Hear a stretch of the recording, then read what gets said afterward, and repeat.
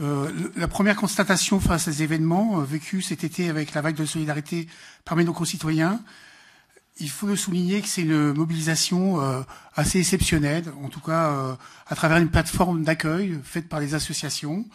Cette, cette solidarité s'est manifestée dès l'ouverture de cette plateforme, en lien aussi avec la ville de Grenoble et la métropole, qui se sont déclarées ville et métropole solidaires des réceptions des offres des habitants et des propositions concernant toute l'agglomération.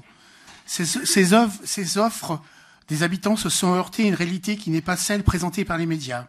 Il n'y a pas en France d'arrivée massive de Syriens comme en Allemagne ou en Suède.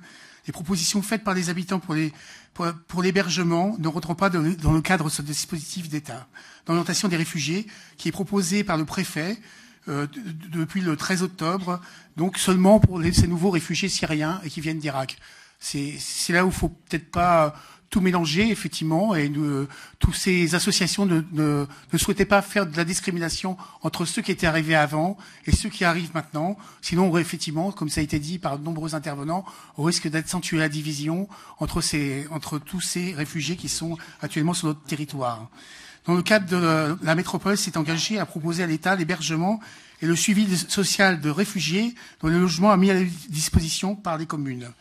Ceux-ci sont intégrés à la mousse d'agglomération, dispositif d'insertion par le logement et le travail, et celui-ci bénéficiera des subventions de l'État, en plus de l'argent complémentaire mis par la métro, à savoir les 50 000 euros inscrits dans cette délibération.